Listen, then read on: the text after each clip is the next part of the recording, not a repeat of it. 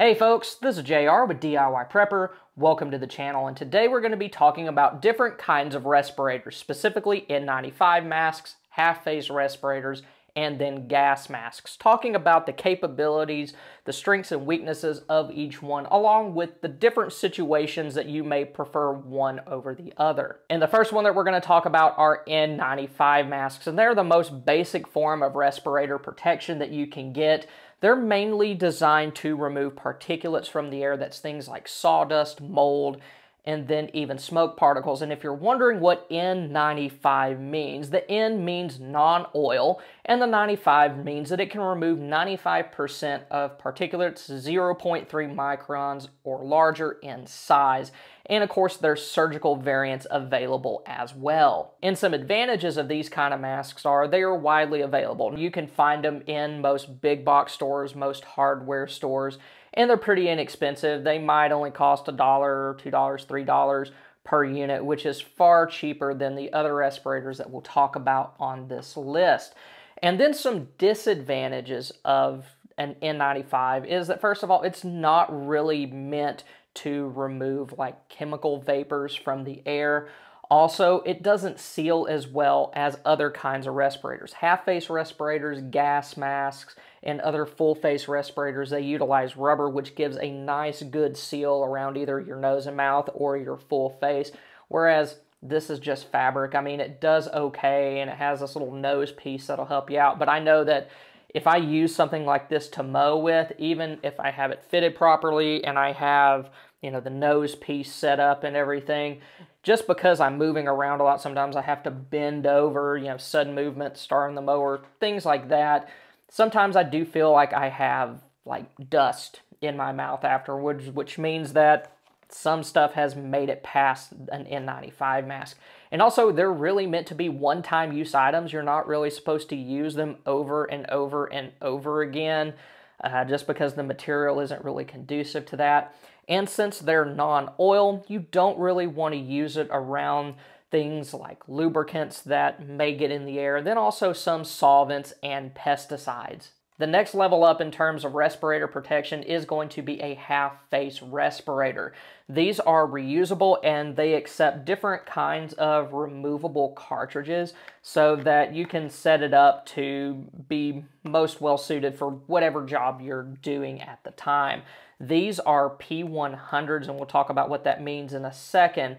But just for the sake of simplicity and because it's what I have, we're going to be talking about the capabilities of a respirator like this with P100s. The P means that it is oil proof and the 100 means that it can remove up to 99.97% of particulates 0.3 microns or larger, and that is according to 3M's website for these specific P100 cartridges. And something like this is a good choice if you're working around things like stains or varnishes that give off strong odors, they have strong vapors, or even if you're sanding something like lead or lead paint. The P100, it can also remove organic vapors and acid gases, so that means it's going to be able to remove things like chlorine and hydrogen chloride, and these are commonly used in industrial settings. So if you go to maybe a fabrication shop, where people are working on, you know, grinding and shaping metal. Maybe they're welding or even go into some mining operations or some construction sites. Like I imagine if somebody's doing maybe like spray foam insulation, they would use a respirator similar to this, maybe not the exact setup. I can't say that for sure because I haven't worked in that, but this is good for more industrial applications. So some advantages of using a half-face respirator are going to be things like it can remove more than an N95 mask. It is reusable, and of course you can fit it with different cartridges, and it seals much better against your face because of the type of material that it's made out of. Okay, It's very hard for particles or even vapors to get in between this and your face especially if you shave. I don't, and I probably should if I'm using something like this, but I've had much better results with this than I have those N95s. And some cons to these are, first of all, as you can tell, they don't protect your eyes.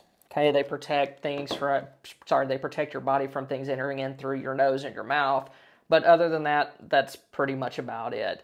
So if, you know, there's some sort of vapor that could disturb your eyes or even if you're worried about something splashing back on you, this isn't going to do the job.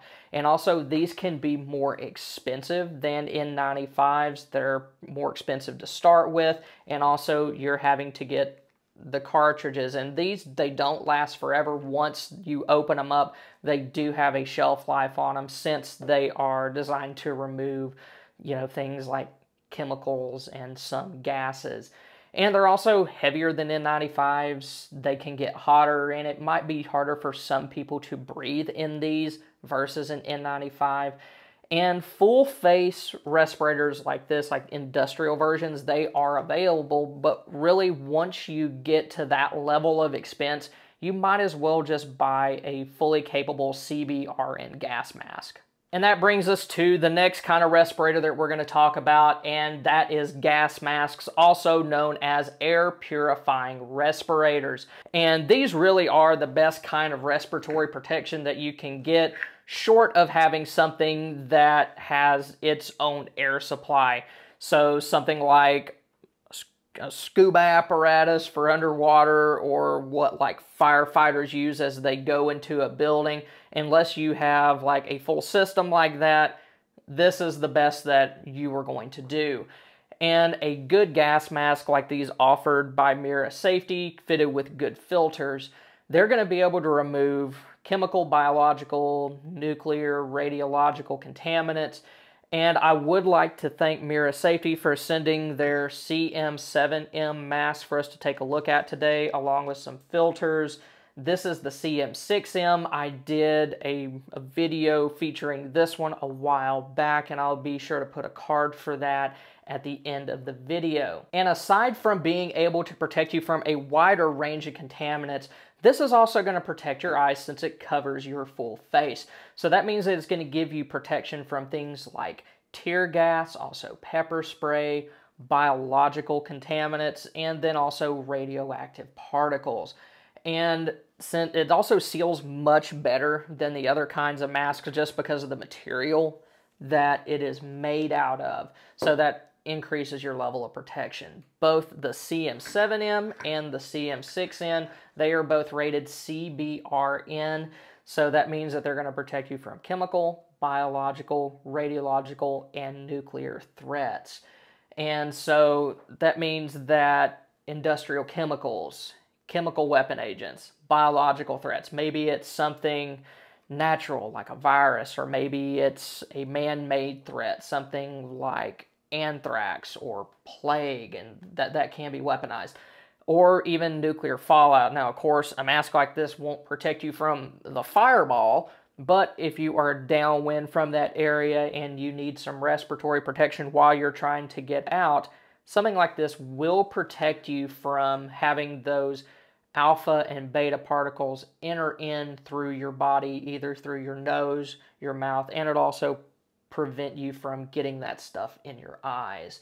And this one, the CM7M, the reason why it looks different than the other one is because it has been specifically designed to be used with long guns with optics like red dot sights or night vision and it can also be used with like ballistic helmets and also military ear protection. What I have found is while that is better for those applications, the CM6M is more comfortable and also it is easier to fit on you so that you don't have to worry about it fogging up. Now, the CM7M isn't bad about it by by any stretch of the imagination. It's not like fogging up your glasses with those little fabric masks. It, it's not like that at all. But the way that they are designed on the inside, I don't know if you can see this too well on camera because of the lighting the CM6M, it's just the design of it makes it, I think, almost impossible for there to be any fog. So if you are wanting something comfortable and you're only worried about maybe using handguns, the CM6M might be a good choice. But if you're worried about more tactical applications, I would definitely go with the CM7M. The CM7M also comes with a drinking kit that you can attach to the mask. so that you can stay hydrated without having to remove your mask if you're in a situation where you require high level breathing protection. And the CM7M is also available in three sizes, so that'll give you the best fit possible. If you're interested in this mask, and you're not sure which size to get, there is information on Mira's website that can help you determine that. And it can um, it can accept up to two of the 40 millimeter standard NATO cartridges. I only have one on there now, but a mask like this is only as good as the filters that you have on it. And Mira's NBC 77 SOF filters they are extremely good. They can remove all known CBRN agents. So if we're aware that it's out there and it could hurt us, this is going to help protect you from it. And if properly stored and taken care of, and in their original packaging, both these filters and the CM7M can be stored for up to 20 years. So some advantages to gas masks like these, they're going to give you respiratory protection from anything that you can think of pretty much. Also, they're designed to be effective even while moving. The harnesses that hold it on to your head and to your face, they're very, very good. And gas masks like these, since they were designed for military and law enforcement use, they were designed with that in mind, and of course, that involves a lot of sudden movements and things like that. So, these will stay put much better than some other kinds of respirators, and they are configurable to your preferences. So, what I mean by that is if you are a right handed shooter, you can stick the filter on the left side so you can shoulder rifle, switch it if you're left-handed. And if you want to breathe easier and you're not concerned about using weapons, then you can fit the mask with two of those filters at once, and that'll help reduce the amount of resistance that you have. And then really the main disadvantages to something like this are first of all, I mean, it's obviously expensive. I think both of these masks, they're over, I mean, $200 or so at least. And then you got to stock the filters too, which I mean, these are like 70 or 80 or, or something like that. Uh, but another thing to think about when you get a gas mask is a lot of the situations that you could reasonably expect to use one in, specifically things like chemical warfare or, heaven forbid, nuclear fallout, you really want to protect more than just your lungs. So if you're going to invest in a mask, it's really good to go ahead and get one of those full body protective suits as well, just because a lot of that stuff, if you don't want to breathe it in, you don't want it on your skin either because certain chemical agents, they can cause blistering. And like in the, in the case of radioactive fallout, while a suit and a mask won't protect you from like gamma radiation, it will protect you from like alpha and beta particles. And what those are are things that when they touch your skin can, I guess, what's the word, uh, can expose you to radiation. Okay, so you don't want them directly on your skin. You don't want them inside of your body. So a mask and a suit will help protect you from that. Now, some reasons why you may want a gas mask. And I realize this is kind of a specialty item. It's not something that you'll probably use all that often. Uh, so if you live in a major city or you live near a military base, something that could reasonably be considered to be either a terrorist target, sorry, a terrorist target, or maybe a military target, it might be a good idea to have one of these.